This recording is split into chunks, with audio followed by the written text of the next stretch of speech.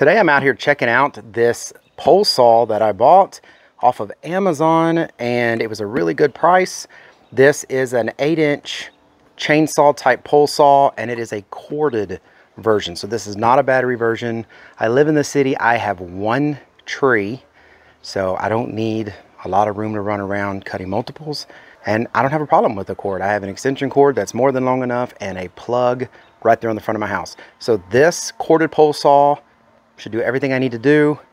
It's the best value that I could find and looks like it comes with everything. Let's get this thing out of the box, see what it does come with, and then get up there and start cutting that tree.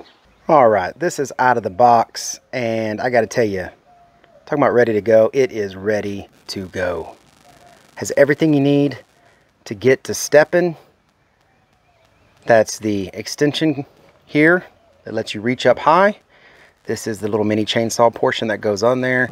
You just, you know, stick it on down here.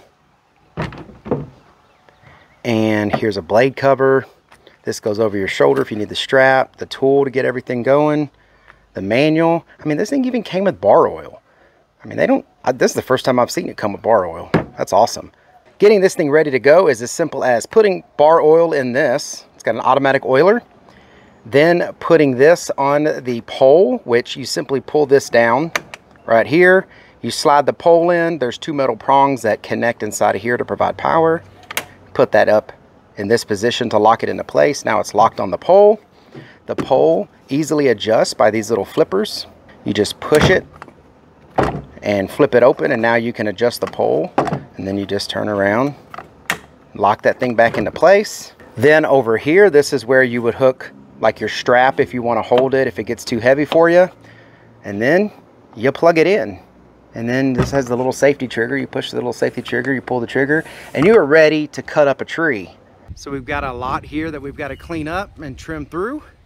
We're going to use this uh, electric tree pruner saw. Get up there and get a lot of this out and cut a lot of these lower branches off.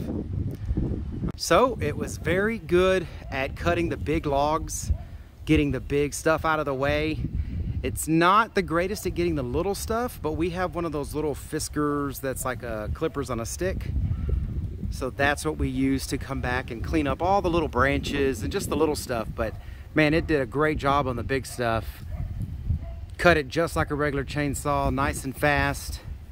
So yeah, great little pole saw we were able to fill this trailer up very quickly with all the large branches that we had to take off the tree and it cut through them with no problem. Love the fact that it's got its own little oiler that keeps the chain nice and lubed and it had more than enough power.